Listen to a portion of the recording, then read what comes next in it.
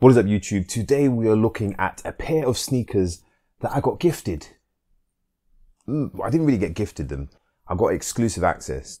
So I got, I got gifted the right to pay for my sneakers, which is an interesting concept when you think about it. So yes, on my phone, as I randomly am, as I was dashing through university and this popped up and I was like, hey, didn't really have much chance to look at it. I just clicked through because the time was going down and I started to stress. I like click, click, click and got it. And they have arrived. So today we are looking at those sneakers. What sneakers I'm talking about? I'm talking about the Pharrell Williams NMD Hus in the core black halo blue color. Let's get into it.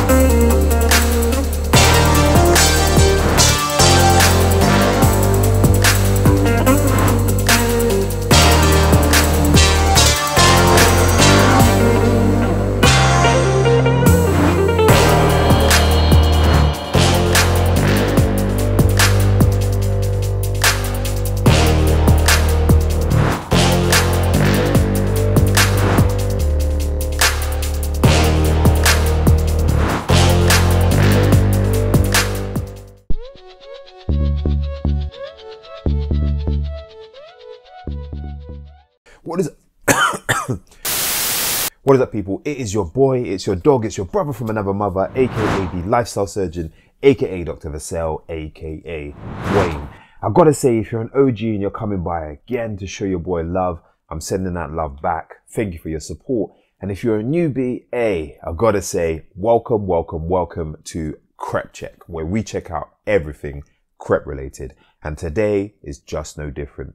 Today, we're looking at, as I said, a pair of sneakers that I got given the opportunity via exclusive access to purchase. What I got was the Hu NMD in the core black halo blue colorway. As you know, I like to do a Crep Check. I like to start at the box. And before I dive into the box and we talk about the aesthetics of it, let's talk about pricing and sizing. So the price for these that I got offered to be able to pay was 180 pounds in the UK, which I believe will be around about $200 in the US. The sizing for this is true to size. If you've ever had a pair of NMDs, I tend to always go true to size and they fit very nicely. Let's get into the box. So when we look at the box, you will notice that the box has the Hu logo on the top and the Pharrell Williams and Adidas logos on the lid. The box itself is kind of a creamy color and other than that, there isn't much more to say. The tag itself just really says the size, Hu NMD, and gives the product code GX3066. But it is my size, a UK 11. With all those formalities out the way, let's pop the hood. And when we pop the hood, we are greeted with this wrapping paper that is white, that's semi-transparent and has the gold Adidas logos on them. When we drop that bad boy, we are greeted with these.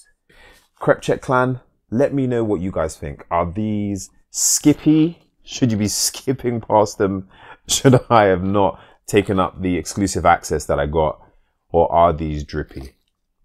Let me know in the comment section. What are my first impressions? My first impressions are actually, I think they look better in person than they did on the images.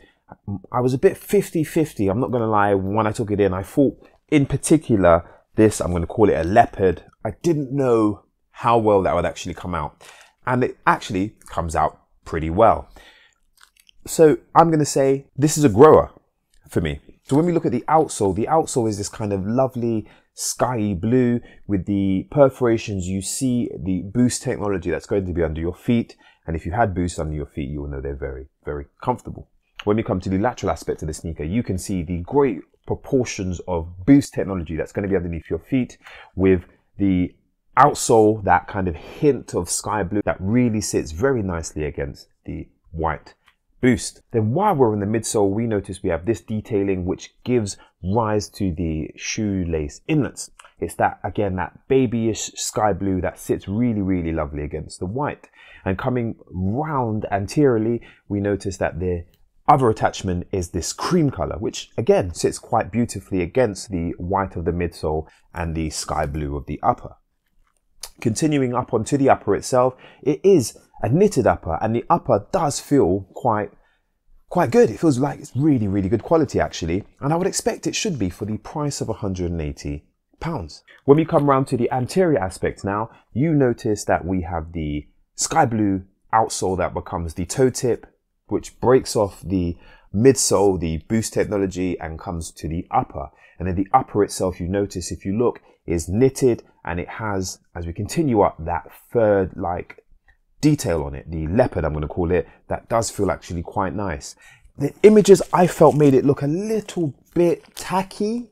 Am I going to say such a strong word? Actually, in person, I feel like it does look a lot, lot better. And I do really like the feel. I just want to stroke these all the time. It's like someone's got felt and they've, they've stuck them to the sneaker. And as you can see, as I brought the other one together, you can see that they both make a pattern. And I like that detail. The fact that both sneakers come together to give you the full image. Then as we continue up, we hit the shoelaces and the shoelaces are a combination of some of the colors of the upper. So they have the majority of it is the blue, but you may be able to see the faint hits of cream that is kind of woven into it, which actually is nice. They have come with an extra pair of pink laces, which um, I guess they're using to match the insole of the sneaker. If you notice, that is pink.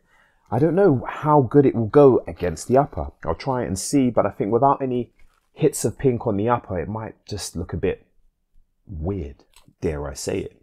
And when we come to the ankle inlet, can't feel a tremendous amount of padding in the ankle inlet. It's got the white stitching detail around the ankle inlet. And we come to the inside, which is black of the upper and then the pink insole, as you can see. When we come around to the medial aspect of the sneaker, you can see it's pretty similar to the lateral aspect.